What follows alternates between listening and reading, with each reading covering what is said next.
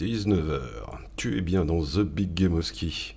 Et aujourd'hui, Monsieur K va te parler de la review la plus compliquée qu'il aura probablement eu à réaliser pour cette année 2018. Mais tout de suite, musique.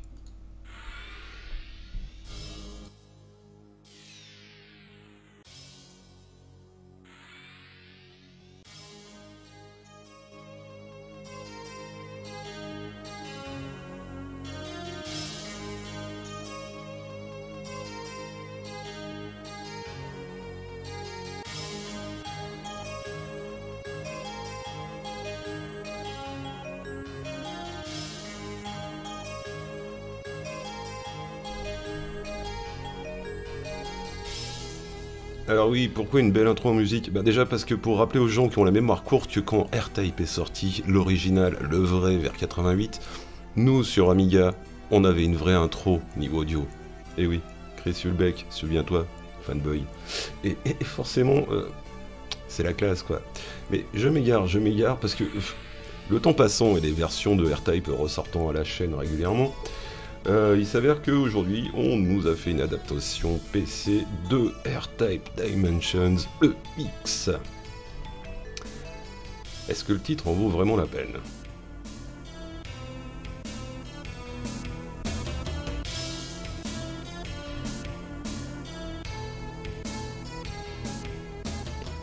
En fait, c'est une fois qu'on a lancé le jeu qu'on se rend compte que on a ici un produit euh, marketing avant un produit qui concerne vraiment euh, peut-être une cible qu'on avait identifiée, mais peut-être mal cernée, elle va savoir.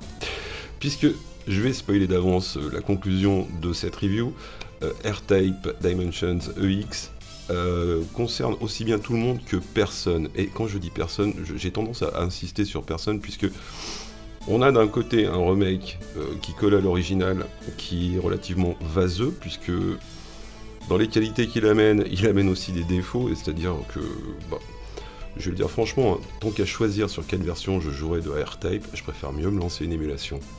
cette version vendue sur Steam est, juste risible à ce niveau-là. Euh, l'autre chose, c'est que quand on passe le truc en 3D, bah ouais, c'est sympa. Il y, a un effet de transition qui est euh, super smooth. Et ça jette. Mais une fois qu'on est dans cette 3D, on, rigole, quoi, parce que ça, ressemble à de la 3D de PS2, et on est quand même en 2018, les mecs. Donc, intérêt, pas grand-chose. Et pourtant, c'est dommage, parce que, rappelez-vous, R-Type, quand même, c'est ça à la base. Un shooter horizontal qui avait cette sale réputation de demander une mémorisation relativement intense. Et c'est pas exagéré, le jeu était très très dur. Et si vous merdiez euh, un positionnement à un passage donné, je vous garantis que vous essayer le vaisseau euh, à quasi coup sûr. Le skill ne pouvait pas grand chose pour vous. C'est pour ça qu'il y a une grande catégorie de joueurs, dont je fais partie, qui ont détesté profondément R-Type, tout en l'admirant de loin. Et puis il y a l'autre catégorie, les hardcore, qui eux ont érigé le, titre en icône, en légende, quoi. C'est pourquoi on a eu R-Type 2 après, qui, est venu ben, rajouter des petites choses dans le gameplay, mais vraiment très futile, et, et rester quand même quelque chose de très dur à passer avec toujours beaucoup, beaucoup de mémorisation. Donc le R-Type Dimensions EX qu'on a aujourd'hui, bah en fait, il va nous ramener le R-Type 1, le R-Type 2, et puis il va vous offrir au choix euh, la possibilité de vous balader d'une version à l'autre euh, pendant le jeu. Est-ce que c'est vraiment super intéressant? On va le savoir tout de suite euh, après la coupure pub, je crois.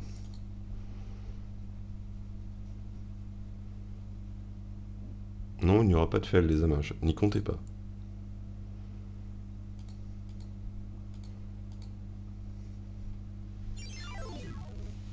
Donc ça c'était avant.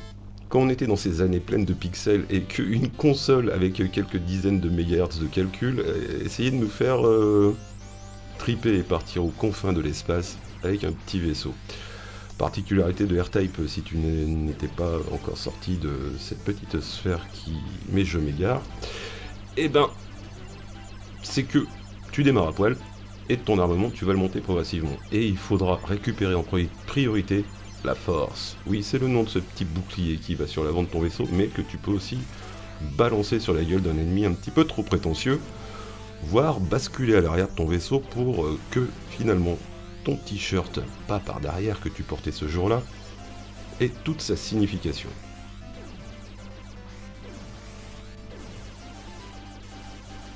Alors un des grands adages du shooter horizontal, c'est que les décors ont toujours fait partie du gameplay et il y avait moyen de t'emmerder, de te casser les grelots, de te broyer euh, ce que tu veux en te faisant des petits passages comme ça qui n'ont l'air de rien et finalement se révèlent être des mini calvaires. Genre ça, la première fois, quand tu arrives là-dessus, tu te craches. Ton coefficient de crash est de 98% si tu es un humain normal. Si tu es dans les 2%, c'est que tu as du skill.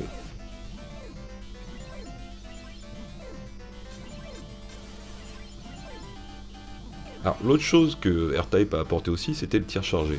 Une bien bonne idée quand on se trouve face à un ennemi qui, euh, dès la première boulette, commence à ricaner plutôt que d'exploser.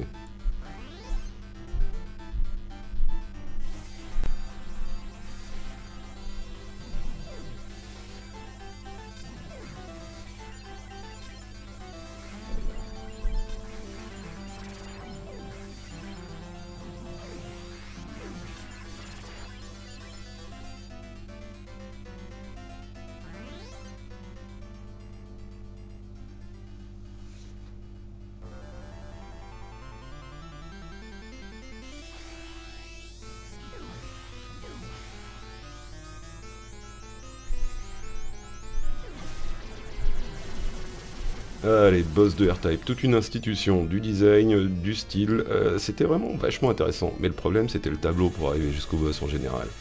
Parce que si au premier ça se passe relativement pas trop mal, vous allez voir que dès le second, on va vous rappeler que oui, le tableau fait partie du gameplay.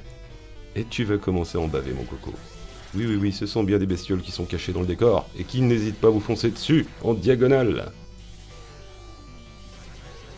Alors, je tiens à préciser qu'aujourd'hui, ce stream est cheaté puisque je le fais et que je commente des enregistrements. Euh, j'ai pas de patience à perdre dans R-Type, honnêtement.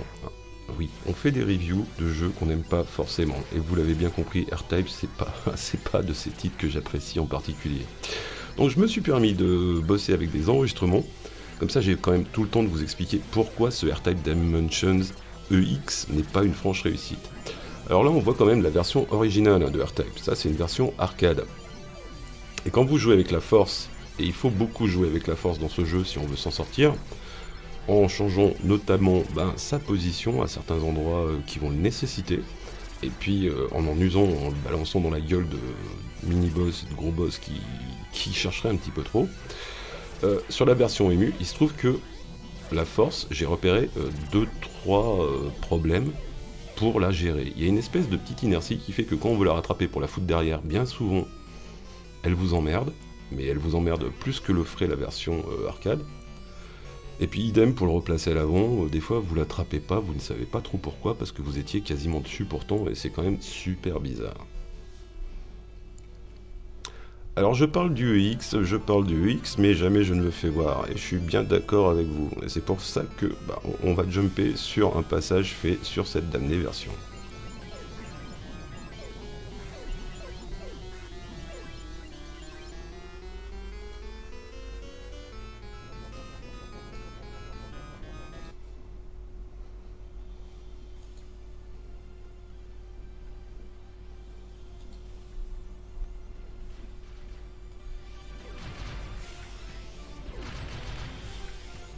Donc le voilà, le R-Type. Alors c'est en 3D, c'est propre, mais c'est pas euh, l'extase non plus. Hein. Moi je suis désolé, vous me faites voir ça, euh, je, je, suis relativement loin de faire des bons au plafond. Hein. Alors si on rajoute une certaine mollesse, et regardez bien la force, la façon dont elle bouge quoi, euh, n'allez pas me dire que j'ai bullshité total en vous disant oui non mais monsieur K t'es en train de trouver une inertie au jeu qui n'y est pas. Si, si, je vous garantis, euh, essayez-le si vous en avez l'occasion. Oui, je vais pas vous recommander de l'acheter parce que c'est quand même pas l'idée, hein, finalement, qu'on a bien compris ce qui vient de se passer. Euh, on a un titre qui est fait pour servir de... C'est un peu comme les figurines qu'on met sur les étagères. C'est-à-dire on est content d'avoir cette figurine qui représente euh, une époque, une période, je ne sais quoi, des souvenirs très perso. et finalement elle reste là, elle prend la poussière puisqu'on ne s'en sert pas. J'ai l'impression que ce remake de R-Type c'est exactement pareil. C'est-à-dire c'est le machin, euh, genre, je vous conseille de l'acheter en boîte hein, si vous tenez vraiment à l'acheter. Et puis posez bien la boîte en évidence euh, sur euh, une étagère derrière vous quand vous streamez, que vous vous filmez. Voilà quoi, la meilleure utilisation du jeu, je pense que c'est celle-là. Je ne pense pas que le gamer, qui est un fou furieux de ce titre, bah déjà utilisera le mode 3D, parce qu'il n'est pas... il n'est pas extraordinaire. Il vous rappelle juste que le jeu est très très raide dans sa façon dont il est scripté, et que si en plus vos déplacements sont de plus en plus mous, euh, ça va pas être top. Et il foncera direct sur le mode pixelisé du titre. C'est exactement ce que j'ai fait moi perso, alors que je suis même pas un, aficionados du titre. Mais je, vois mal les gens jouer dans ce mode 3D. je pense que la plupart vont vouloir jouer dans le mode tout pixel crade. Parce que c'est là qu'il est à peu près normal et qui ressemble vraiment à sa version originale.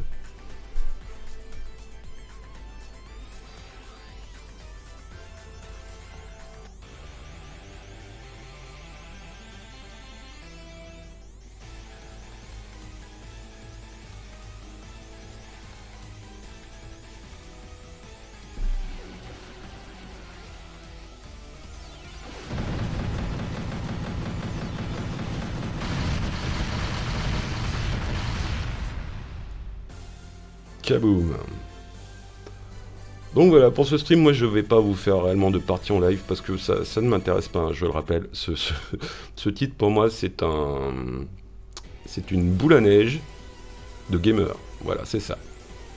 On l'achète, on pose la boîte sur une étagère et puis on joue à d'autres titres qui sont vraiment fun en comparé. Là, il y a une opportunité marketing qui a été délibérément usée et qui est justifiable. Maintenant, c'est pas un produit qui s'adresse aux gamers, c'est clair. Est-ce que je fais durer votre calvaire plus longtemps? Je vais vous laisser ce niveau jusqu'à la fin, jusqu'au boss. Et puis je vous retrouve pour vous dire un petit au revoir. Non, ce n'est pas un adieu encore.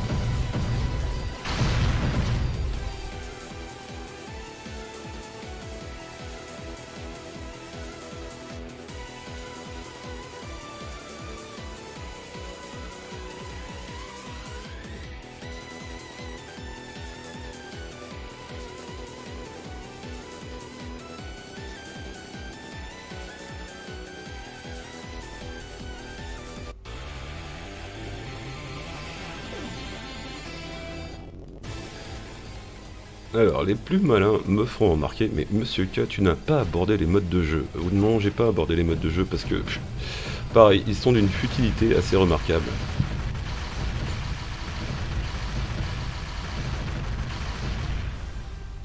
Dans les nouveaux modes, vous avez un mode Infinity, c'est-à-dire bah, vous êtes en free play, hein. c'est-à-dire vous avez autant de vie que vous voulez pour aller jusqu'au bout du jeu. Ça vous évitera d'aller chercher sur un internet euh, un code de cheat. Comment ça, ça se fait plus en 2018 déjà? Quoi? Il a plus la database avec tous les, les cheat-codes euh, dans un CHM Le CHM, fantastique. Donc voilà, euh, il y a un mode Infinity et puis il y a un mode ralenti pour vous faire croire que vous faites des trucs de gamer et puis pouvoir euh, refaire un passage euh, qui va vous emmerder. Je ne vais pas parler de ce vaisseau par exemple, mais ne me dites pas si vous avez fait quelques runs dans AirTag qui vous a pas gonflé.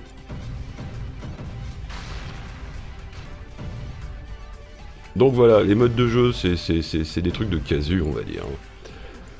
Le, seul intérêt de ce titre, bah, c'est de peut-être faire connaître aux, gens de, génération récente euh, l'existence euh, de ce R-Type. de fournir le premier et le deuxième, le tout à un petit prix, parce que le, titre est, je crois, à 12 ou 14 balles sur le net, c'est ça en, démat. Maintenant, est-ce que ça les vaut? Euh, Moi, perso, je, je non. Maintenant, vous, perso, vous avez le droit d'avoir vos propres goûts. Et si c'est quelque chose qui vous éclate, c'est vrai que c'est pas trop cher, foncez. Foncez, ça vous fera du bien, vous serez content. Et quand vous relancerez la version émue, vous serez encore plus content, je peux vous le garantir, quoi. Sur ces bien belles images, je vous laisse avec les deux playlists habituelles, c'est-à-dire euh, la globale et puis euh, celle dédiée au shmup. Et comme j'ai été particulièrement médisant aujourd'hui, mais totalement euh, impartial, je vous laisse avec un stream bonus. Prenez soin de vous, prenez soin des autres. Ciao, demain 19h. Je crois que c'est en train d'exploser dans le studio.